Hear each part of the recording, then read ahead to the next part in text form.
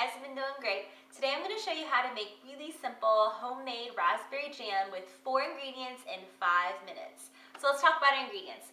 First of all, I have 12 ounces of fresh raspberries, and you can do this with frozen raspberries if you can't find fresh raspberries in your supermarket, but try to use fresh whenever possible, so that's 12 ounces. And then I also have just a half a teaspoon of lemon juice, and then a cup and a half of granulated sugar, and then just a potato masher. So what I'm going to do, the first step is I'm going to go ahead and heat up my sugar. And this sounds a little funny, but just put it in a microwave safe glass and microwave it for about a minute to a minute and a half on high. And so I'll see you guys after my sugar has been microwaved and heated. So my sugar is waiting for me in the microwave. Again, it was just on um, in the microwave for about a minute to a minute and a half. And in my pot here, I have it on its lowest heat setting possible. And I have just taken my potato masher and just gone in there and just gently pressed to just release some of its juices, just gently. At this point, you don't want it to be completely pulverized, and it will look like this. And you want this to be on low setting for about a minute, and then you want to raise it up to medium.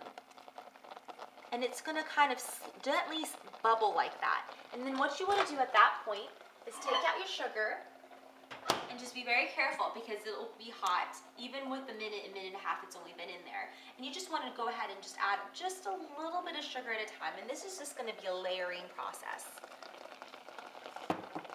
And then this is at medium, so go ahead and combine that. Let me get a spoon and go ahead and combine that. And it's at medium setting, it's gonna keep bubbling away. And then add in a little bit more sugar and just keep adding sugar gradually.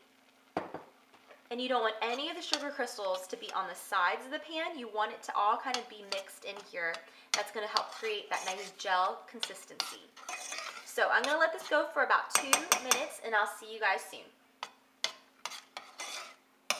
All right, so it's been boiling for just a few minutes now, for just a couple minutes, and you want it to be on high at this point, and I've already added all the sugar, and you want this to go just for about two or three minutes more, and then at that point, it'll basically be done. So at this point, you want to add just your half a teaspoon of lemon juice. And then just continue to stir. You just want to make sure this is uncovered and you want to stay with it and stir every so often and at that point, after it's been boiling away for about two or three minutes, you want to just take it, what you'll want to do to test it, and I'll show you this again, is just dip your spoon in there and see how it gels up when you when you lift up the spoon and you just let it cool. See if it gels up. That's when you'll know that it's ready. But this is still in the process of being ready, just a couple more minutes and it'll be done. So just continue stirring and I will see you guys soon.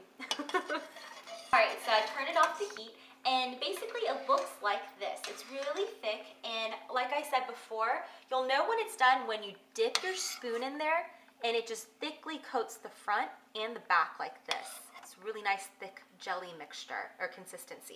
And it'll thicken up even more as it, as it you know, pulls off. And basically I, I like to store this in um, sterilized mason jars and this is great as hostess gifts or even like part of a gift basket. And I love, love, love this because it's all natural. It doesn't have any fruit pectin. As you saw, we used four ingredients and this came up together in five minutes. So I love, love, love this jam. I hope you guys love it just as much. And thanks so much for watching. Please don't forget to subscribe and I'll see you guys soon. Bye.